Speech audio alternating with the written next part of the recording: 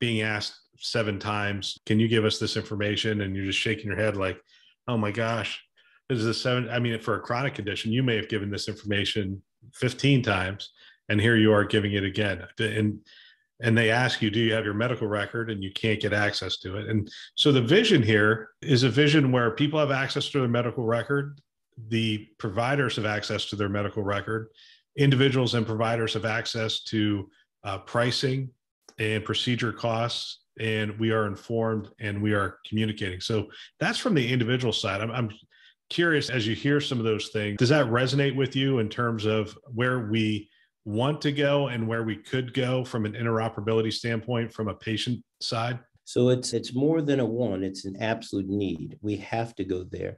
I tell this story often within close friends, close circles. My, my wife and I built a home a couple of years ago. Right before we go into closing, there was an error in the closing, and I coincidentally was on the golf course when the wife said, You shouldn't be golfing this day because we're going to have the closing. You never know what's going to happen.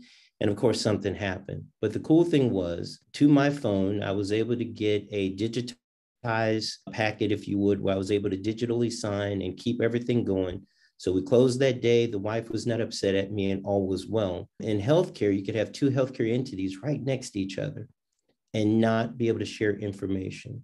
And that just doesn't make sense. And so I, I clown around within the circle of friends that we're probably about 10 years behind. On the financial side, you can see, I mean, with your ATM card or your phone, you can access your financial information anywhere in the world.